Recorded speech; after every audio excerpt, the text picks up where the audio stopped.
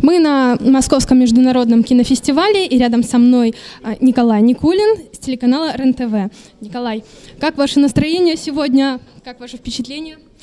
А, ну, пока впечатления особо нету, потому что я ничего не успел посмотреть, э, кроме видока как раз фильма «Открытие». Я пообщался с режиссером Реше.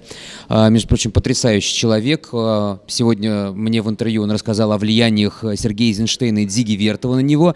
И я жду не дождусь э, показа фильма «Годовщина революции», который будет показан э, тоже как раз на Московском кинофестивале. Называется он «Годовщина революции». Снял его как раз Дзига Вертов. Эту ленту долго не могли найти, вот, наконец, собрали, и мы имеем возможность посмотреть ее. И э, вдвойне интересно, потому что э, Диго Вертов повлиял как на российскую кинематографию, так и на французскую кинематографию, и на Жан-Люка Гадара. А надо обратить внимание, что очень много будет французских фильмов э, на кинофестивале, и вообще как-то фр франко-русская дружба, она культивируется, и это замечательно.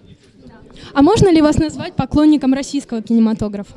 Конечно, можно. Я живу в России. Как я могу не любить российское кино? Это только люди, которые пытаются хайпить, там какие-то получать рейтинги, очки на критике, но э, это не люди, которые по-настоящему любят кино. То есть они просто хотят какую-то популярность. А если ты любишь кино, ты, в общем-то, неважно какой национальности кино, ты просто пытаешься найти какие-то драматургические изыски, какие-то интересные ходы актеров, в которых можно влюбиться. Естественно, каждая страна таких актеров, таких режиссеров, такие картины презентует. И в этом году я очень много российских картин посмотрел. И э, вот даже те, которые хотя бы на Нике были номинированы, э, допустим, там «Сердце мира», «История одного назначения», «Война Анны». Я жду не дождусь и трех российских э, фильмов э, в основном конкурсе, и в частности якутский фильм, потому что, потому что якутское кино, ну, я здесь не оригинален, оно действительно на подъеме, и к нему нужно присмотреться. Угу, замечательно. А подскажите, вот как у вас путь ваш э, на РЕН-ТВ, вот ваш успех, как вот он э, ваш путь, в общем, становления?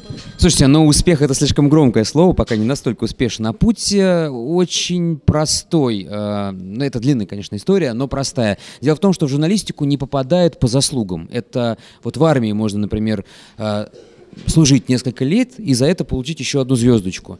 А в журналистике не бывает, что ты сидишь, допустим, продюсером 5 лет, а потом к тебе подошли и сказали, слушай, ну вот ты 5 лет, ну, пора бы уже стать ведущим. Такого не бывает. Тут либо повезло, либо не повезло. Это правда везение. И вот э, если человек этим случаем, а каждому человеку рано или поздно такой случай представляется, он воспользуется, ухватится за него, то он попадает в профессию. У меня как раз ровно такой был случай, э, как вы, только телеканал РЕН-ТВ брал у меня комментарий по поводу Московского кинофестиваля. Я на тот момент работал на радио «Комсомольская правда» кинокритиком. Я рассказал про Московский кинофестиваль, каналу очень понравилось. Как я рассказал, и понравилось мое лицо, видимо, образ. И они сказали, давайте вы будете у нас работать. Так и попал.